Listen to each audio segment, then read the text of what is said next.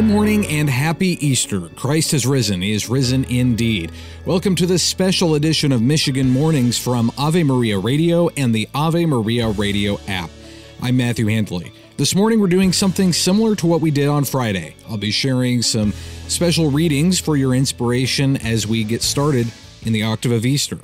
This first reading is from the first letter of the Apostle Peter. Praise be the God and Father of our Lord Jesus Christ, who he in his great mercy gave us new birth, a birth unto hope which draws its life from the resurrection of Jesus Christ from the dead, a birth to an imperishable inheritance, incapable of fading or defilement, which is kept in heaven for you, who are guarded with God's power through faith, a birth to salvation which stands ready to be revealed in the last days.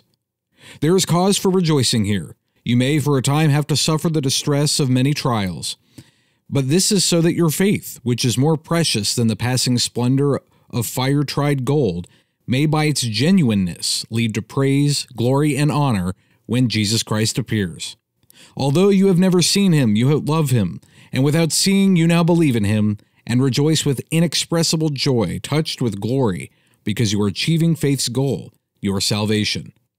This is the salvation which the prophets carefully searched out and examined, they prophesied the divine favor that was destined to be yours. They investigated the times and the circumstances which the Spirit of Christ within them was pointing to, for he predicted the sufferings destined for Christ and the glories that would follow.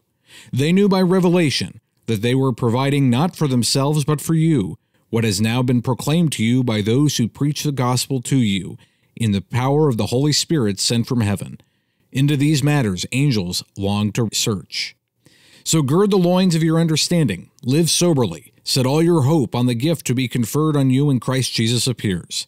As obedient sons, do not yield to the desires that once shaped you in your ignorance. Rather, become holy yourselves in every aspect of your conduct, after the likeness of the Holy One who called you. Remember, Scripture says, Be holy, for I am holy. In prayer, you call upon a Father who judges each one justly on the basis of his actions. Since this is so, conduct yourselves reverently during your sojourn in a strange land. Realize that you were delivered from the futile way of life your fathers handed on to you, not by any diminishable sum of silver or gold, but by Christ's blood beyond all price, the blood of a spotless, unblemished lamb, chosen before the world's foundation, and revealed for your sake in these last days. It is through him that you are believers in God, the God who raised him from the dead and gave him glory your faith and hope then are centered in God. Again, that's the beginning of the first letter of the Apostle Peter. You're listening to a special edition of Michigan Mornings from Ave Maria Radio and streaming anywhere you go with the free Ave Maria Radio app. We have more for you on this Easter Monday as you celebrate the octave of Easter. That's coming up in just a few minutes. Now, this.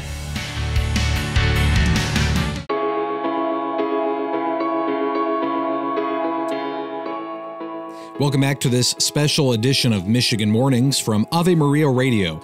I'm Matthew Handley. I want to share with you now an Easter homily by Melito of Sardis. He writes We should understand, beloved, that the paschal mystery is at once old and new, transitory and eternal, corruptible and incorruptible, mortal and immortal. In terms of the law, it is old. In terms of the word, it is new. In its figure, it is passing in its grace, it is eternal. It is corruptible in the sacrifice of the Lamb, incorruptible in the eternal life of the Lord. It is mortal in his burial on earth, immortal in his resurrection from the dead. The law indeed is old, but the word is new. The type is transitory, but grace is eternal. The Lamb was corruptible, but the Lord is incorruptible. He was slain as a lamb, he rose again as God. He was led like a sheep to the slaughter, yet he was not a sheep. He was silent as a lamb, yet he was not a lamb. The type has passed away, the reality has come. The lamb gives place to God, the sheep gives place to man, and the man is Christ, who fills the whole creation. The sacrifice of the lamb, the celebration of the Passover, and the prescriptions of the law have been fulfilled in Jesus Christ. Under the old law, and still more under the new dispensation, everything pointed toward him. Both the law and the word came forth from Zion and Jerusalem, but now the law has given place to the word, the old to the new. The commandment has become grace, the type a reality. The Lamb has become the Son, the sheep a man, and man God. The Lord, though he was God, became man. He suffered for the sake of those who suffer. He was bound for those in bonds, condemned for the guilty, buried for those who lie in the grave. But he rose from the dead and cried aloud, Who will contend with me? Let him confront me. I have freed the condemned, brought the dead back to life, raised men from their graves. Who has anything to say against me? I, he said, am the Christ. I have destroyed death, triumphed over the enemy, trampled hell underfoot, bound the strong one, and taken men up to the heights of heaven. I am the Christ.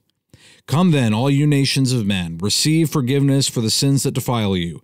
I am your forgiveness. I am the Passover that brings salvation. I am the Lamb who is immolated for you. I am your ransom, your life, your resurrection, your light. I am your salvation and your king.